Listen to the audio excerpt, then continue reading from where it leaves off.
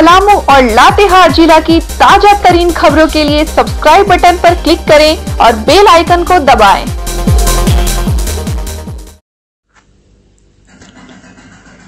CRPF जवान दुर्गेश सिंह द्वारा गठित युवा टीम जीवन ज्योति गरीब असहाय लोगों के लिए वरदान साबित हो रहा है डाल्टनगंज के विभिन्न इलाकों में घूम करके गरीबों के बीच ठंड को देखते हुए साल स्वेटर, गर्म कपड़े का वितरण किया गया आपको बताते चले कि सीआरपीएफ जवान दुर्गेश कुमार सिंह के द्वारा एक टीम गठित किया गया है, जिसका नाम जीवन ज्योति है। उसी के तत्वाधान में विभिन्न जगह पर इस तरह का साप्ताहिक कार्यक्रम का आयोजन किया जाएगा, जो अभियान एक सप्ताह तक चलेगा, जिसमें गरीब, असहाय और जो घर से बेघर रहते हैं, उनको गर्म कपड़े प्रदान किए जाएँगे। इस कार्यक्रम के आयोजन में युवाओं का सहयोग देखते ही बनता था।